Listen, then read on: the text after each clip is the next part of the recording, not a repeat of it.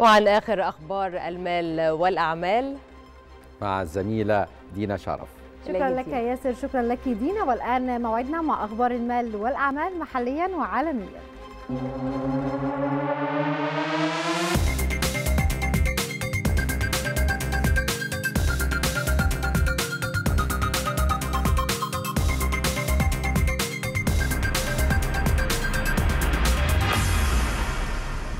اجتمع وزير الزراعة السيد القصير مع وفد رفيع المستوى من التحالف الوطني للعمل الأهلي والتنموي.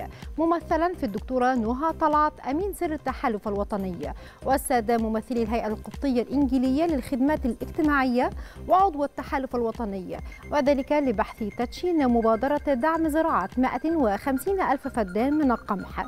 يأتي الاجتماع في إطار توجيهات الرئيس السيسي بالتوسع في زراعة المحاصيل الاستراتيجية وخاصة محصول القمح الذي يعتبر أحد أهم محاور الأمن الغذائي.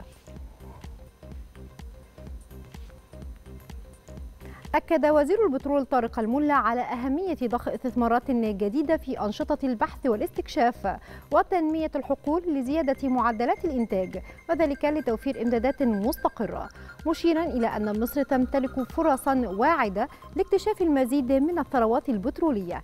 جاء ذلك خلال لقاء الوزير مع مسؤولي شركة أمريكية لبحث أنشطة الشركة في منطقة امتيازها بالصحراء الغربية وذلك منذ بدء عملها في مصر عام 2016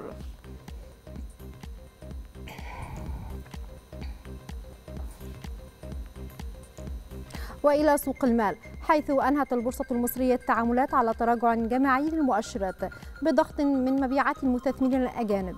بينما اتجهت تعاملات المصريين والعرب للشراء وسجل رأس المال السوقي مستوى 706 1.4 من عشرة مليار جنيه. وعلى صعيد المؤشرات فتح مؤشر EGX 30 عند مستوى 10163 نقطة بتراجع بنسبة 7 من 100 بالمئة ويغلق عند مستوى 10156 نقطة.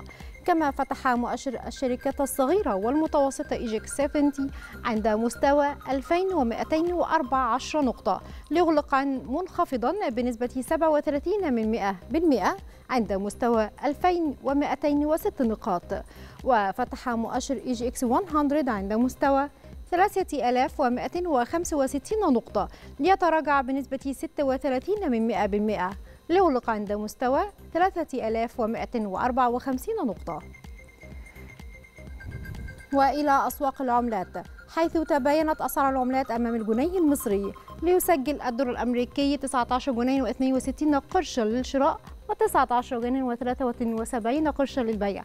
اليورو سجل 19 جنيه و18 قرشا للشراء و19 جنيه و29 قرشا للبيع. الجنيه الاسترليني سجل 22 جنيها و6 قروش للشراء و22 جنيه و18 قرشا للبيع.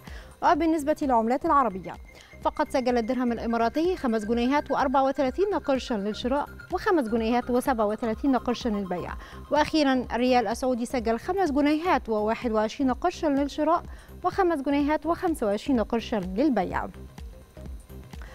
قال الرئيس الأمريكي جو بايدن إن الولايات المتحدة ستبيع 15 مليون برميل من الاحتياطي البترولي الاستراتيجي بحلول نهاية العام.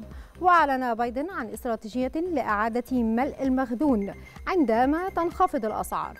وتهدف خطة بايدن إلى إضافة إمدادات كافية لمنع ارتفاع أسعار النفط التي يمكن أن تضر المستهلكين والشركات.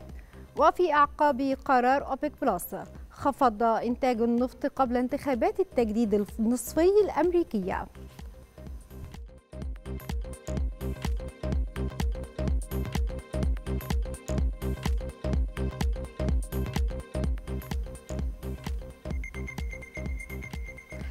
ختام أخبار اقتصاد